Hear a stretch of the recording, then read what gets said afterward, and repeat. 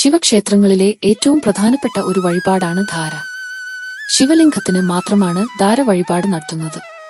എന്നാൽ സാമ്പത്തിക സ്ഥിതി അനുസരിച്ച് ക്ഷീരധാര ഇളനീര് ധാര എന്നിവയും സമർപ്പിക്കാവുന്നതാണ്.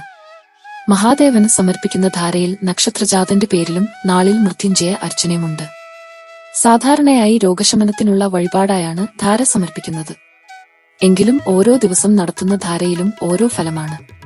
ശനിയാഴ്ച മഹാദേവന് ധാര സമർപ്പിച്ചാൽ സകല ദുരിതങ്ങളും ഒഴിയും എന്നാണ് വിശ്വാസം. എന്നാൽ ചില ശിവക്ഷേത്രങ്ങളിൽ വൈകുന്നേരങ്ങളിലാണ് ധാര സമർപ്പിക്കുന്നത് ഇങ്ങനെ വൈകുന്നേരങ്ങളിൽ ധാര വഴിപാട് നടത്തുന്നത് കേസുവഴക്കുകൾ പെട്ടെന്നുള്ള ആപത്തുകൾ എന്നിവ തടയും. ചൊവ്വാഴ്ച ധാര സമർപ്പിച്ചാൽ ധനനേട്ടം ഭാതീക സുഖം എന്നിവയാണ് ഫലം. പൗർണമിനാളിൽ ധാര സമർപ്പിച്ചാൽ ഐശ്വര്യം വർദ്ധിക്കും എന്നാണ് വിശ്വാസം. കൂടാതെ ഈ ദിവസത്തിൽ വൈകുന്നേരം ദേവീക്ഷേത്രത്തിൽ ഭഗവതി സേവ വഴിപാടായി സമർപ്പിക്കുന്നത് കുടുംബദുരിതം നീക്കും.